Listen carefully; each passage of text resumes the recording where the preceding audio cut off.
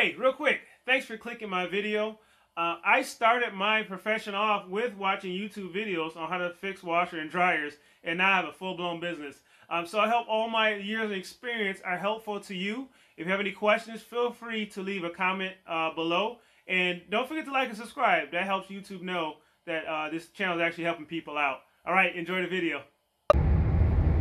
Hey guys, this is Reggie, the appliance repair guy, and I have a quick announcement I wanted to make uh, regarding the number one repair right now, uh, right before the holidays.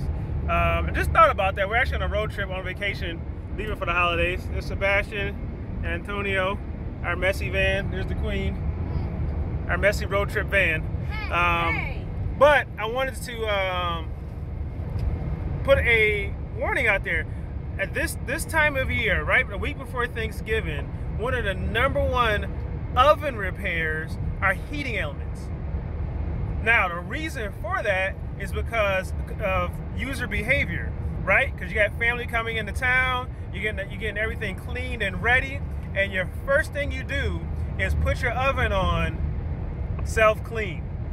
That is a no-no. Now, here's why. Self-clean, let's explain what self-cleaning feature does. The self-cleaning feature on your oven superheats the oven to 880 degrees Fahrenheit, well above its normal uh, operating temperature. The reason why it does that, because at those temperatures, food decomposes uh, and basically turns into like a mini cremation chamber for uh, all the food that's inside that oven. Uh, and so and it turns into ash and disintegrates. The problem with that is it superheats the heating elements inside.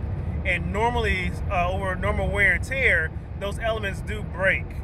Um, so I highly, highly recommend don't use self-clean feature. Um, if you do, wait to after the holidays or an important dinner date. Um, but uh, highly recommend avoid using that self-clean feature.